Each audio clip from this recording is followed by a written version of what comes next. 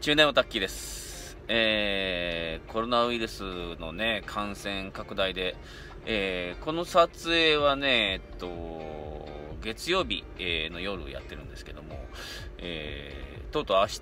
えーっと、東京とかね、えその他の地域に緊急事態宣言が、えー発令になるという報道、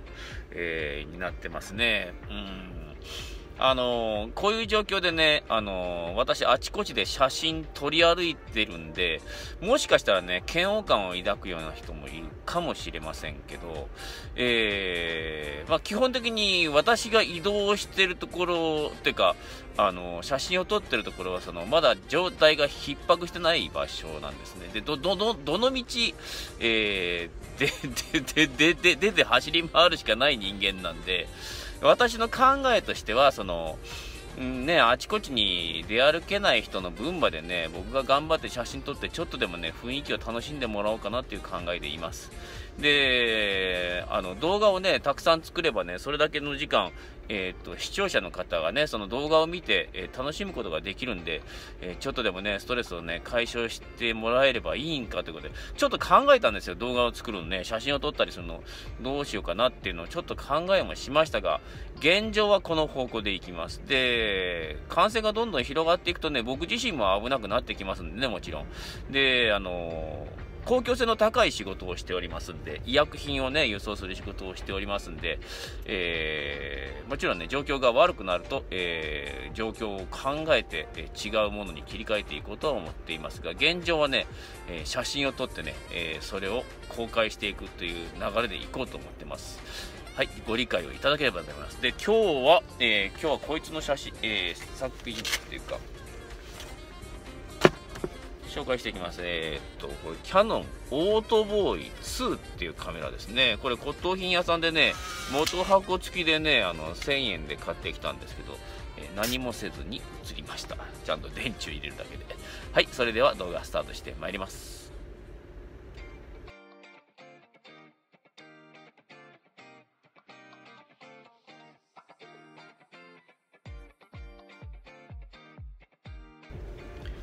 はい、えー、っとね、このキャノンオートボーイ2ですけども、えー発売がね、えー昭和58年、えー4月、1983年の4月、僕が中学生ぐらいの頃ですね、えー価格がなんと驚きの4万2800円。これ4万、これ42,800円したんです。全部プラスチックなんですけどね。高い、高いですね。こ、このケースが2000円したそうです。布製のケースですけど、えーと、初代オートボーイのね、モデルチェンジ機ということで、えー4群4枚構成の 38mmF2.8 のレンズがついていると。えーオートフォーカスはね、赤外、ん？近赤外光投射による三角測量方式。えーこれね、あの、ここにね、窓がありますけど、え、この真ん中の窓はファインダーなんですけど、この両方の窓、ここからね、赤外線の光を投射して三角測量する。まあ、レンジファインダー機の応用みたいな、えー感じのね、あの、オートフォーカスだったみたいですね。で、えっと、シャッター速度がね、8分の1秒から500分の1秒まで、えーまあ、セルフタイマーも内蔵しているということで、えーファインダーがね、えーブライトフレーム付きの逆ガリレオ式、えー視野内にオートフォーカス用フレーム、近、中、中円、えー遠距離のゾーンフォーカスマークと、えー距離指針、近距離補正マーク、近距離補正マークっていうのは、あのーパララックス補正ですね。で、バッテリーチェッカー兼手ブレ警告、え倍率は0.45倍のファインダー。えファインダーはまあ見やすいですけども、0.45倍なんですね。えフィルム感度は ISO25 から400ということなんですけども、え非常にね、簡素な作りになってまして、えこれボタン、一応ね、あの、レンズ開閉はね、電動なんですよね。で、あの、開くとね、レンズがちょっと動いて出てくるような感じで、えーっと、真ん中にね、ファインダーの真ん中にちょっと丸がついてるんですけど、ここでピントを合わせろって感じなんですね。ええあのーまあ、簡単は簡単です。全部ね、あの、フフィルムをね、ここにベロを伸ばして閉じ閉じるだけで自動急走されますし、オートフォーカスでね、簡単に撮れます。あのーストロボだけはね、これ手動なんですよ。あの、新しいカメラ、比較的新しいカメラは、えー、ストロボ、フラッシュもね、あの、暗かったら勝手に光るみたいなやつが多いですけど、これは開かないと動かないです。えー、でね、えー、早速ね、作例を見て、えー、いただくんですけども、これどんなコーティングをしたらこの絵になるんでしょうね。かなりいい絵が撮れました。えー、っとね、ピント合わせがね、微妙でね、結構ピンボケがありましたけど、あのーファインダー内の丸のマークに被写体をしっかり合わせないと、その向こうのものにピントを合わせてしまう、ピンボケになってしまうという形なんですけどね。それ、それをちょっと慣れなきゃいけないんですけども、それ以外はね、あの、本当にシャープで、で、太陽光がね、直接レンズに入ってくるような場面でもコントラストも崩れずね、なかなかいい描写になってます。えー、これね、あの、カラーで撮ってもおそらくもう1983年のモデルなんで、えー、色のキャノンって言われてるぐらいですから、えっ、と、いい色で撮れるんじゃないかなと思いますね。はい。で、重さはたったの 300g しかないですし、えー、っと、このケースがね、あの、ベルト同士がついてるんですね。あのカメラ自体はポケットに入る大きさではありませんけどベルト同士でベルトにつけることができるんでね気軽に持ち出すことができますであのこのカメラねあの僕の先輩もね使ってたんです。写真部で使っててみんな一眼レフで撮ってるのに1人オードボーイで撮ってるんでねあのバカにしてる人もいたんですけどね、月齢とかではね、いい写真出してくるんで、あオートボーイであんな写真撮れるんだなって僕も思ってたんですけど、えー、実際手に入れて撮ってみたら、おーって感じの写真ですね。えー、露出外れもありませんしね、シャープな絵が撮れますね。4枚玉で逆光で撮ってもこんなに撮れるんだなっていう、えー、感心させられました。まあ値段だけのことはもしかしたらあるのかもしれないですね。結構頑張って開発したのかな。えー、これ、あの、手軽に撮れますしね、簡単に撮れるしね、あの、フィルムカメラ初心者の方はね、おすすめかもしれないですね。そのデジタル世代の人ってやっぱ、あの、失敗を恐れるとかね、失敗するのをね、あの、嫌がる人ももちろん当然当然多いですし、えー、知識がなくてもこれ簡単にね、あの取れるんで、ただあの ISO 感度だけはこれ手動ですね。あのフィルム感度 DX コードには対応してません。ここにね、何もついてない。で、あの、ここの下にね、あるんで、ダイヤルで動かしたそ動かしたら、上に感度表示が出てくるんで、えー、これでね、ISO 感度、アーサー感度ね、を調整しなければいけません。えー、マニュアル操作っていうところは、まあ、このぐらいですね。フラッシュとその感度調整以外は全部自動。えー、それでこんな綺麗な絵が撮れるんですね。このカメラなかなかだと思います。え僕のこのカメラはね、えっ、ー、と、いつもね、あの、えー、行ってる鴨島町、えー、徳島県のね、吉野川市の鴨島町の、えー、JR 鴨島駅前のロータリーにある極老屋面白館っていうね、骨董屋さんでね、元箱付きで1000円で買ってきました。元箱がね、あの、オリンピックのね、元箱でね、えっ、と、ロスアンゼルスオリンピックの、え元箱でね、あの、ルーマニアかなんかの選手が平均台に乗ってる写真があって、綺麗な箱が付いてました。え結構お買い得でしたね。元箱付きで1000円安いですよね。えー、えー、今日のね、カメラ紹介、こんな感じになります。えー、多分ね、その、結構売れてるカメラだと思うんで、えー、プラカメですけどね、ジャンクボックスなんかに入ってたらね、あのー、チェックしてみてもいいと思います。で、炭酸電池が、えー、炭酸電池2本で動くんですけど、あの、炭酸電池使用機はやっぱね、電池の液漏れが非常に多いんで、この液漏れだけはね、あの、ちゃんとチェックしてくださいね。で、炭酸電池なんでね、あの、実際動くの入れてみて、あの、もしあったらね、その近所で電池買ってきて、えー、動くのを確認してから購入するっていうのもありがと思います。どうせ電池いるんでね。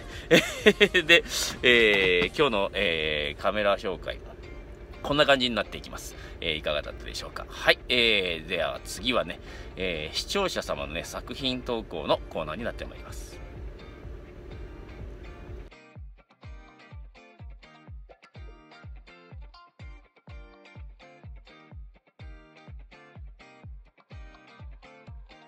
はい、えー、視聴者様のね、作品のコーナー、えー、とりあえずトップバッターが、えっ、ー、と、きりたんぽさん、えー、とね、2枚いきます。えー、1枚目はね、えーと、タイトルが注意。えー、ペンタックス KM、えー、SMC ペンタックス DA、えー、1855mm、えー、F3.5 から 5.6L、JPEG 取って出し、えー、2枚目がね、リコー XR2、XR リケノン 50mmF1.7、えー、コダックゴールド200ということです。えー、1枚目の方、これあのね、光の境界線で撮ってて印象的な写真にはなってるんですけども、ちょっとね、構図が中途半端ですね。僕だったらもっと寄って縦構図にするかな。えー、2枚目の方は、えー、っと、これね、これもね、光の境界線で撮って、もうちょっと早い時間だったらよかったですね。惜しい。えー、被写体にほとんど光が当たってないんでね、あと30分早かったらかなりいい写真になってたでしょうね。うん、雰囲気は出てますね。はい、えーと、きりたんぽさん、ありがとうございます。はい、えー、次が、えーとね、ドリームロコモーティブさん、えー、ありがとうございます。えーとね、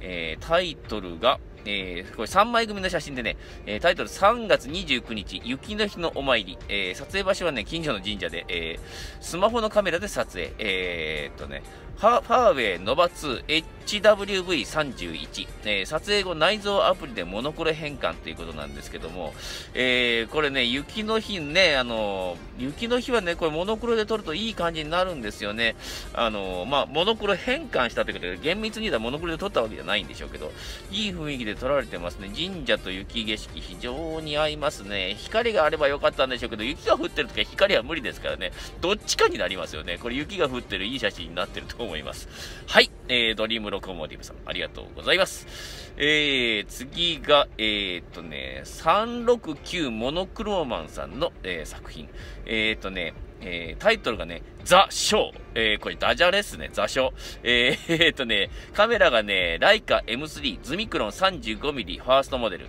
えー、フィルムがね、コダックエクター100、えー、C41、C41 自家現像。えー、ということですけども、これ、エクター100で、えー、C41。これカラーネガですかね。それともこれクロスプロセス現像なのかな。クロスプロセス現像だと思うんですけどね、多分、えー、エクター100をね、C41 1時間現像、なかなか勇気がありますね。これ高いフィルムなんでね、もう買うこともできないですよ。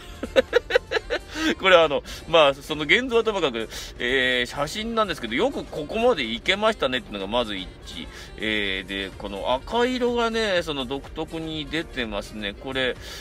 そのクロスプロセス現像したことによるものなのか面白い色に転んでいるように見えます。実は僕あんまり色が見えないんで、まあ、色のことを判定するのはどうかとは思うんですけど面白い色に見えますね。はい、えー、369モノクロマンさんありがとうございます。はい、えー、次がね野良旅人さん。えー、っと2枚ですね。2枚ともねカシオエクシリム EX100F、えー、コンデジですね。で撮っておられます。えー、1枚目がね、春の落とし物。2枚目がね、秘密の花園ということで、えー、1枚目ね、これあのー、地面にね、落ちてるこれ花、何の花かよくわかんないんですけども、光のない状況で撮ってますけどもね、これあの、ホワイトバランスをオートでやるデジタルならではで鮮やかな色に映っております。えー、ね、あのー、夢た、野良旅人さんか、野良旅人さんはあのこの光のない状況で写真撮るの得意ですね。なかなかいい感じに写ってます。で、2枚目の方はね、あの、えっと、秘密の花園ということで、これバラの花ですね。季節はちょっと前、前の写真、えー、あ、昨年5月秩父市で撮影しましたということですね。えー、なんか秘密の花園って言ったらね、僕はいやらしいイメージしかないんですけど、それはあの、いやらしい中年のおっさんだからでしょうか。えっと、色的にはね、ちょっとなんか、淡い色に映って、青みがかってるのかな、これ。ちょっとわかんないんですけども、えー、ちょっと面白い色で映ってますね。うん、どうやったらこんな色になるんだろう。ちょっとわかんないです。えー、野良旅人さん、ありがとうございます。えー、次がね、サムライジャパンさん。えー、サムライジャパンさん、た多分初投稿ですかね。かなり以前からね、あの、ユーザー、えっ、ー、と、視聴していただいてますけども、えー、タイトルがね、1枚、写真1枚、タイトルが、えー、雪解けの河原で、えー、ペンタックス K01、スーパータクマ 35mmF3.5、えー、クローズアップレンズ使用ということでね、これはね、なかなか素晴らしい写真になってます。えー、寄れないところをクローズアップで撮ったんでしょうけども、それにしてもいい感じに撮られてますね。ザ・物撮りって感じで、えー、光もね、あってね、素晴らしい写真になってます。えー、この作品なんですけども、次回からタイトル画面に決定ということで、えー、侍ジャパンさんの作品、えー、次回からタイトル画面にさせていただきます。はい、えー、ここまでかな？ここまでかな？えー、1、2、3、4、5名、えー、とりあえず5名ずつ紹介していくということで、まだ待機者がね、えー、6名いるんですけども、なかなかね、あの、作品トークをね、どんどん来ておりまして、ありがたいことに来ておるんですけども、ちょっとね、あの、公開までお待ちくださいませ。はい、えー、視聴者様の作品のコーナーはここまで。えー、次はね、あの、俺のカメラのコーナーになってまいります。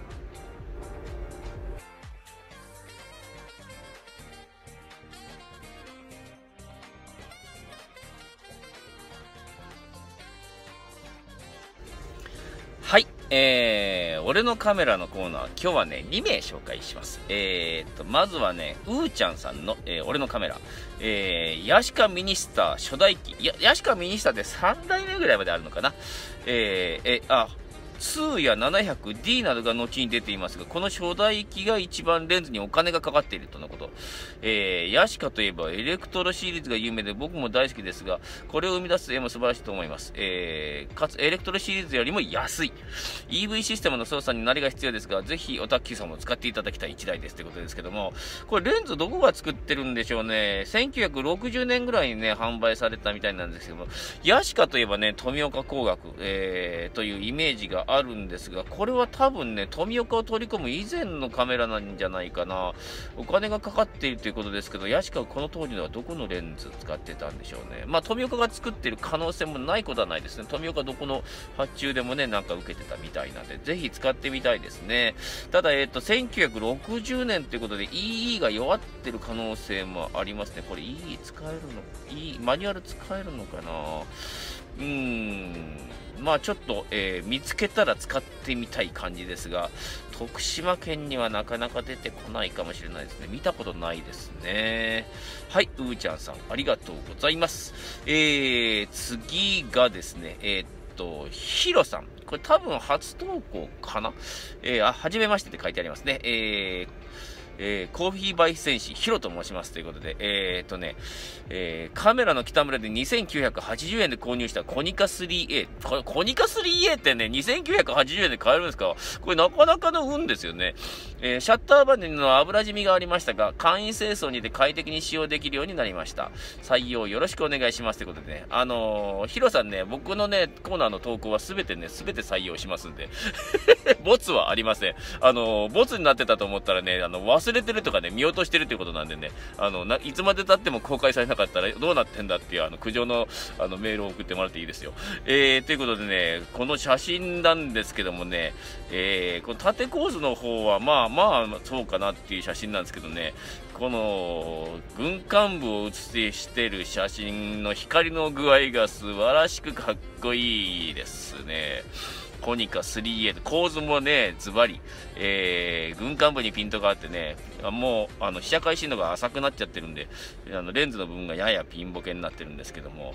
えー、色の剥げ具合もね、その年代が出ててかっこいいと思います。というわけで、えー、この2枚目の写真かな、えー、この軍艦文の写真、えー、ヒロさんの写真、えー、次回のね、俺のカメラのコーナーからは、えー、タイトル画面とさせていただきます。タイトル画面コロコロ変わってるな。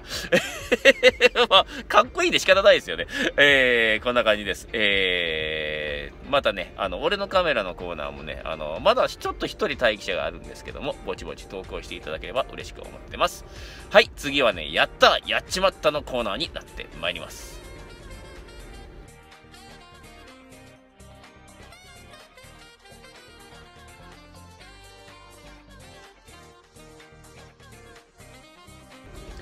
はい、えー、やったらやっちまったのコーナーね、ちょっと今回はね、変わってる、えー、内容ですね。えー、内容がね、やっちまったから強引に力技でやったーにしたっていう話ですね。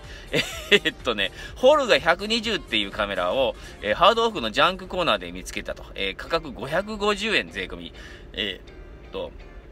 これがね、えー、購入して家に持ち帰り動作させてみたところ、シャッターは問題ないけど、えー、ストロボの電池が液漏れしており、あた清掃して新しい電池を入れましたが、ストロボが光らず、えー、ストロボの発光管か回路が壊れている考え、そのまま使うのでは面白くないので分解してストロボ部分に、え、5mm の LED を6個詰め込み、内蔵ストロボを LED ライト化する魔改造をしました。LED ライトのスイッチは背面についているストロボのオンオフスイッチの回路で再構再構し動作させています。え、ストロボほどの光量はないので、最短撮影距離の1メーターぐらいでなんとか使い物になる程度かなと。えー、死者はまだしてませんが、一応中盤カメラなので、ブローに120フィルムを無駄に消費した、消費したくないので悩んでいますよ。うわー、これね、うん、その、真っ黒に使えるぐらいの光量でしょうけど、真っ黒レンズでもないですし、これ微妙ですね。ホルガーってね、これトイカメラの類になるんですけどもね、えー、これは、まあ見た感じね、あの、バネとかチャッチーバネとか入ってて、いかにもトイカメラって感じで、耐久性とかなんか無視されてるっぽいですけど、550円はでもね、安いですね。まあこういう、えー、改造、面白い改造をしてもね、いい価格に、えー、なるんですかね。はい。えー、ドリームロコモティブさんね、えー、ありがとうございます。えー、今回の動画はね、まあ、こんな感じになるんですけども、えー、次の動画ですけど、ちょっとね、最近ね、あの、疲労が溜まってきてるせいもあってね、失敗を連発してるんですよね。フィルムをね、あ、取り切ったと思って、蓋開けて、あ、とか、そんな感じのね、もうとんでもない失敗をやってて、えー、ちょっとどっかで疲労抜きをしなきゃいけないなって考えてもおるんですけども、まあね、あの、できる限りは続けていきたいと思うんですけど、えー、次回の動画はね、そんなわけでネタがないんで、えー、っと、EOS5D Mark III でね、桜をあちこちで撮ってるんでね、その桜の写真を紹介していくようなコーナーになってくるかもしれません。はい。えー、でね、あの、要望でね、あの、そのカメラ、写真にはまったきっかけっていうね、あの要望があったんですけど、この間ね、あの、居酒屋ライブの時にトシさんには話したんですけどね、十分考えてるんです。えー、僕がね、写真にはまったきっかけっていうのをね、出そうと思ってるんですけども、その写真をね、準備するの毎週毎週忘れてね、ほんで一回忘れたらもう一週間家帰れないんで、もうね、もうなんかイライラしてるような状況なんですけどね、あの、そのうちね、あの、私がね、写真にはまったきっかけっていうのをね、あの、その当時撮った写真をね、交えながらね、話していこうと思います。はい、えー、じゃあ今日の動画はこんな感じですね。えー、っとね、その緊急事態宣言ももうね、発令されていることで、えー、皆さんね、ぜひ感染しないようにね、とにかくね、人がいるところに行くね、人がたくさんいるとこに行かないようにするのがやっぱ感染しないポイントですけど、えー、大都市部とかそうも行かないんでね、通勤するには電車乗ら、電車バスとかに乗らなきゃいけないし、えー、どこに飯食うにもどこ行くにも人がいっぱいいますよね。僕も一応あの、まあ、大都市でもないんですけど、西宮にね、住んだことが、西宮そこそこ人口がいて、えー、スーパーマーケットでもね、そのレジに30分並ぶとか、そういうのが当たり前だし、飯屋もね、並ばなきゃ食えないっていう状況は当たり前で、まあ、人がたくさんいるんでね、そういうところでやっぱ生活してるとなかなか感染を防止するのも難しいかもしれないんですけども、まあ、感染したらね、死んでしまうような病気ですんでね、下手をすると死んでしまうような病気ですんで、どうにかね、なんか、あの、そのね、皆さんに一人一人に合ったスタイルで、えー、感染を予防する何かのね、方法、最善の方策をね、取っていただければと、まあ、基本的にはマスク、えー、手洗いなんでしょうけどね、難しいですね。うん。ね、ウエットティッシュとかね、元にももう売ってなかったりし、マスクも売り切れだったりしますしね。まあ、あの、できるだけね、外に出ないように、えー、で、外に出るときはね、自転車とかを使って、その、公共交通機関をなるべく使わない方法をとっていただければと思います。で、ね、写真をね、撮るにしても、例えばね、マンションにお住まいの方だったらね、マンションのスロープを取るとか、もうそういうレベルになってくるのかな。まあね、あの、マンションのスロープとか廊下とかもね、あの、光の具合によっては十分被写体になっていきますので、えー、工夫して撮っていただければと思います。デジタルで撮るのがおすすめですね。ちょっとフィルムはもったいないっていうのもあるんでね。はい、えー、それでは今日の動画はここまで、えー、最後まで見ていただきありがとうございました。えー、この辺にね、えー、チャンネル登録ボタンまた出てきますんでね、えっ、ー、と、チャンネル登録まだの方はぜひぜひチャンネル登録お願い願いします。えー、ね、あの、ぜひぜひね、コロナウイルスかからないように皆さんご自愛くださいませ。はい。それでは次の動画まで、えー、ごきげんよう。さよなら。